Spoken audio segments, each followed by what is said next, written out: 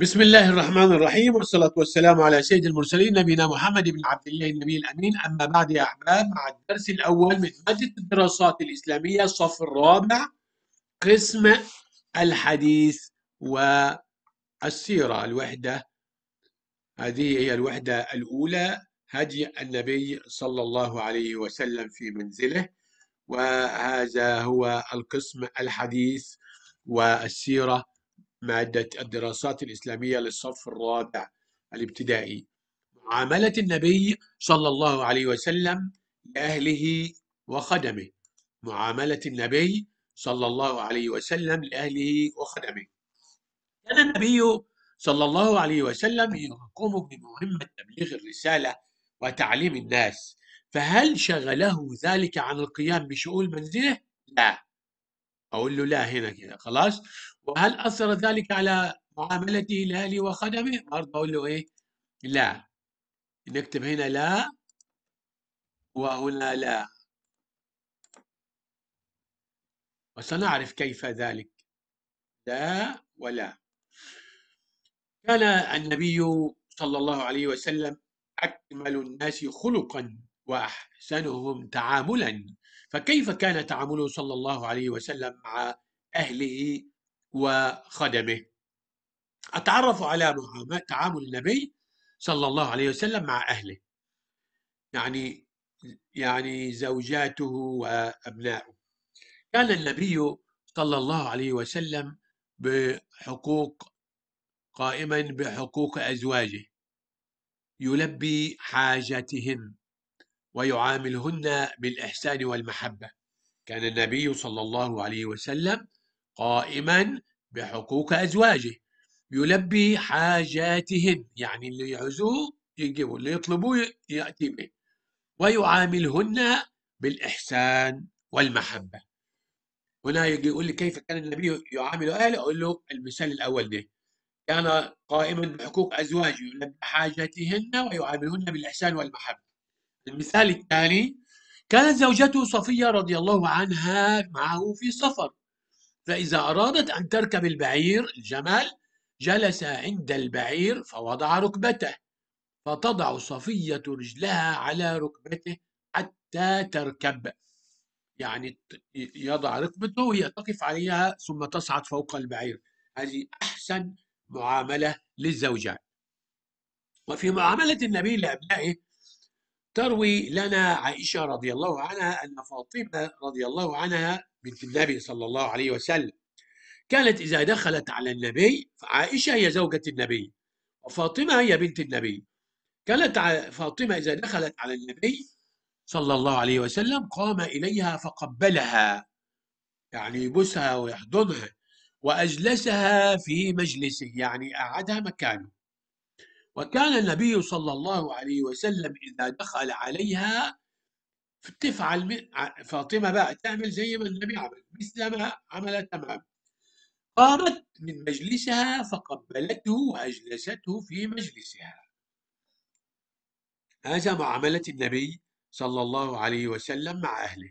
اللخص الثاني كان يقوم بحقوق أزواجه ويلبي حاجاتهن ويعاملهن بالإحسان والمحبة.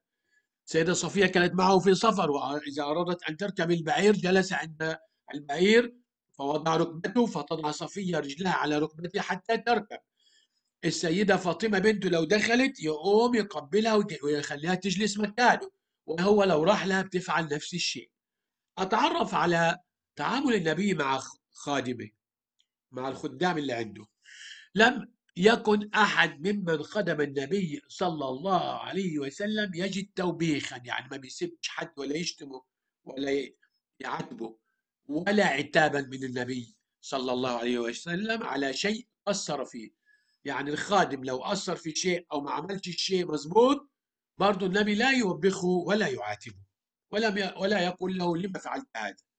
وكان صلى الله عليه وسلم يكافئ خدمه ويدعو لهم. فدعا لأنس بن مالك رضي الله عنه بكثرة المال والولد فبارك الله له في ماله وولده. فكر لماذا لم يكن النبي صلى الله عليه وسلم يضرب خادما أو يوبخه لأنه أرحم الناس جميعا ولأنه رحمة للعالمين. ولأنه لو ضربهم سيكرهون الإسلام.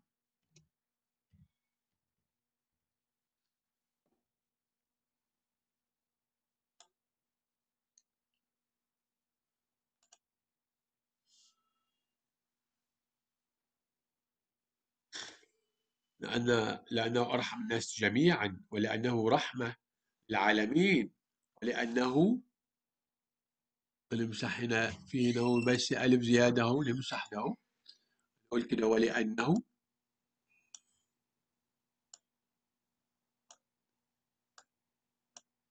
كده. ولأنه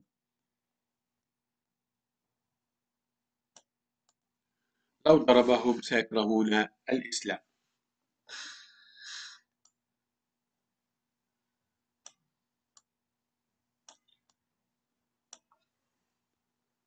خلاص نمسح دول. تعلمت أن النبي صلى الله عليه وسلم أحسن الناس تعاملا مع أهله وخادمه. أوضح التقويم بقى. كيف كانت معاملة النبي صلى الله عليه وسلم لزوجاته؟ السؤال الثاني وضحوا كيف كانت معاملة النبي صلى الله عليه وسلم مع خدمه. الآن آتيكم بهذه الإجابة.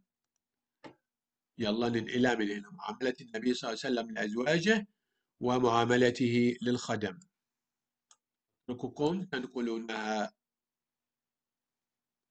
هذا هو آخر شيء في درس مادة الدراسات الإسلامية قسم الحديث والسيرة. لا تنسوا اللايك والاشتراك والدعاء في النهاية.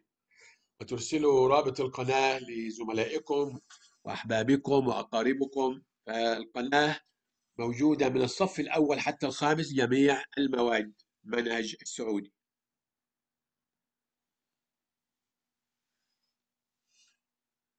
معاملة النبي صلى الله عليه وسلم لأنه كان قائما بحقوق أزواجه ويعاملهن بالإحسان والمحبة. كانت زوجته صفية رضي الله عنها عنها معه في سفر. اللي إحنا قلناها الوقت من شوية نكتبها.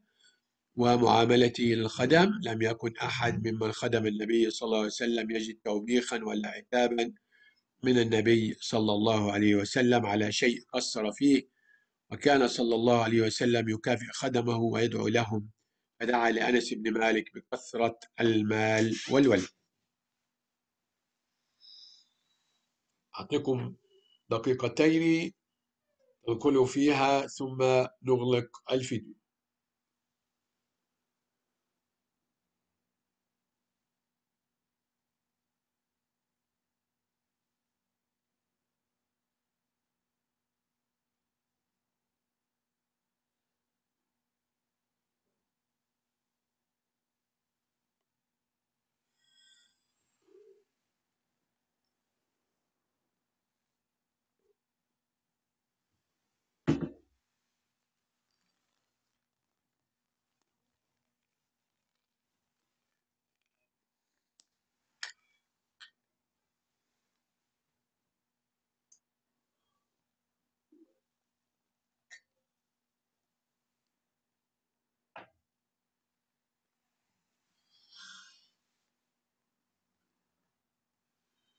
وفي الختام لا تنسوا اللايك والاشتراك والدعاء لنا والسلام عليكم ورحمة الله وبركاته.